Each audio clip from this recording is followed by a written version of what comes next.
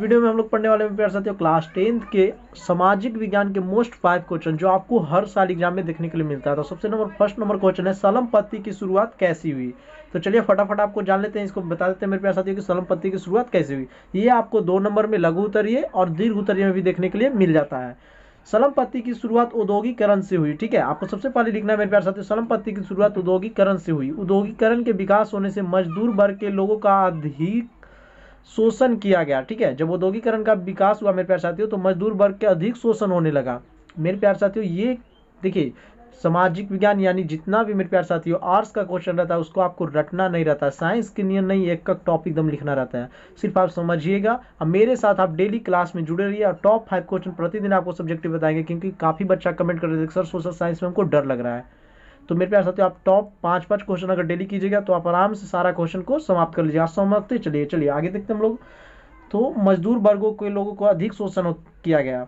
पूंजीपतियों ने मजदूर वर्ग के लोगों को अधिक काम लेता था और काम के अनुसार उसे मजदूरी नहीं देता था। जब मेरे प्यार साथियों, समझते चलेंगे मेरे साथ कि औद्योगिकरण का विकास हुआ तो जो मजदूर वर्ग के लोग था, उसका अधिक शोषण होने लगा। क्योंकि पूंजीपतियों ने मजदूर वर्ग के लोगों से अधिक काम करवा लेता था, लेकिन काम के अनुसार मजदूरी नहीं देता था, जिससे तंग आकर मजदूर संगठन का निर्माण कर, जिससे तंग आकर मजदूर जितना भी साथ सब एक संगठन का निर्माण कर, पूंजीपतियों के खिलाफ वर्ग संघर्ष की शुरुआत की। मजदूर को गंदे बस्तियों के रहने के लिए बात किया जाता था, तथा उसको अच्छे स्थान पे भी नहीं रखा जाता था, ठीक है? और कोई सुविधा प्रदान नहीं की गई थी, जिसके कारण उन्हें पूंजी वर्ग के लोगों के स्थान साथ क्रांति के लिए अग्र होना पड़ा, जिससे का परिणाम स्वरूप रहा कि बुरी तरह शोषण, उत्पीड़न और जोल जुलूम के अत्याचार को नहीं सहन करना पड़ा और इस प्रकार सलम पत्ती की शुरुआत हुई। अब सिंपल तरीका से आप समझिएगा मेरे प्यार साथियों, जैसे मजदूर वर्ग लोग जितना थे, जब औद्योगिकरण का विकास हुआ तो उसको काम के अनुसार पैसा नहीं दिया जा रहा था तथा अच्छे स्थानों पर भी नहीं रखा जा रहा था, जिससे क्या हुआ कि सभी लोग मिलकर पूंजीपतियों के खिलाफ क्या कर दिए, क्रांति शुरू कर दिए, ठीक है? जिसका परिणाम स्वरूप ये रहा कि वो शोषण, उत्पीड़न और जुलम अत्याचार को सहन नहीं किए।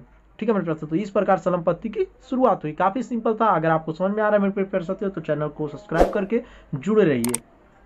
सेकेंड प्रश्न हम लोग का रहेगा घेटो क्या है? ये आपको देखने के लिए मिलता होगा। क्वेश्चन बैंक में देखिएगा, काफ़ी बार पूछा गया है घेटो क्या है? समानता इस शब्द का प्रयोग यूरोप शहर में यहूदियों की बस्तियों के लिए प्रयोग किया जाता था। जो मेरे प्यार साथियों, यूरोप यूरोप शहर था, वहाँ के यहूदियों की बस्ती के लिए प्रयोग किया जाता था। परंतु आज विशिष्ट धर्म, जाति, समान पहचान वाले लोगों के साथ रहने के लिए प्रयोग होता है, उसी को हम लोग बोलेंगे घेटो। ठीक है? सिंपल ऐसा आता है तो लगता है कि क्या है, सब तो कोई पढ़ाई नहीं तो यहाँ से आप ज़रूर ध्यान में रखिएगा।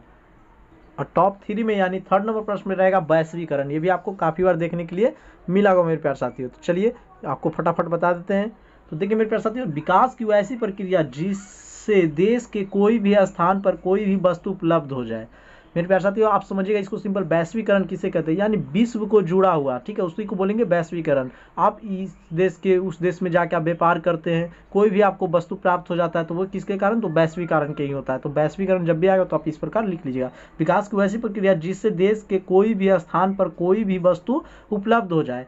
जब कोई देश किसी दूसरे देश के व्यापार करता है तो वह बिना रोकथाम कोई भी देश, किसी भी देश में व्यापार कर सकता है। वैश्वीकरण कहलाता है। यही था मेरे प्यार साथियों सिंपल वैश्वीकरण मेरे प्यार साथियों, मेरे सारा ऑफलाइन वाला बच्चा सबसे ज़्यादा अगर नंबर लाता है तो कोई सोशल साइंस में लाता है, क्योंकि इसको रटना नहीं पड़ता है, इसको सिर्फ़ समझना पड़ता है। तो आप लोग भी बोलते हैं मेरे प्यार साथियों, ज़्यादातर समझिए, ठीक है? रटिए नहीं।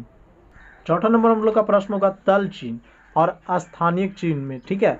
तो तल चिन्ह होगा मेरे प्यार साथियों, स्थानिक ऊंचाई को विशेष कर सहायता से मापी गई ऊंचाइयाँ तल चिन्ह कहलाती है। ठीक है, स्थानिक ऊंचाई को विशेष कर सहायता से मापी गई ऊंचाइयाँ को तल चिन्ह कहेंगे और स्थानिक ऊंचाई में लिखेंगे तल चिन्ह की सहायता से मापी गई स्थानिक विशेष कर ठीक है, मापी गई ऊंचाइयाँ स्थानिक ऊंचाई कहलाती है। तो ये था आपको लिखना है तल चिन्ह और स्थानिक चिन्ह, ये भी काफ़ी बार आया है। इसके बाद मेरे साथियों टॉप फाइव में यानी लास्ट नंबर में रहेगा सार्वजनिक उद्योग और निजी उद्योग। मेरे प्यार साथियों, अभी तक आप चैनल को सब्सक्राइब नहीं किए तो सब्सक्राइब कर लीजिए और बताइए कि हाँ इस प्रकार का सीरीज़ कैसा रहेगा। आपको मोस्ट वीवीआई क्वेश्चन सिर्फ़ देंगे जो एग्ज़ाम में, क्योंकि अब मेरे प्यार साथियों एक क्वेश्चन पढ़ने के आपके पास टाइम नहीं है, वही पढ़े जो एग्ज़ाम में आए। सार्वजनिक उद्योग तो वैसी उद्योग जो सभी जगह पर आसानी से उपलब्ध हो सकता है। सार्वजनिक उद्योग पर सरकार का नियंत्रण होता है, जो सभी जगह उपलब्ध हो जाए, तथा सरकार का नियंत्रण है, उसको बोलेंगे सार्वजनिक उद्योग। और निजी उद्योग, मेरे पास तो नाम में ही छुपा हुआ है इसका आंसर, निजी उद्योग। उद्योगों की वैसी प्रक्रिया जिस पर निजी व्यक्तियों द्वारा चलाया जाता है तथा इसका निजी स्थान पर केंद्रित होता है। तो चलिए मेरे प्रश्न मिलते हैं नेक्स्ट वीडियो में। जय हिंद, जय भारत।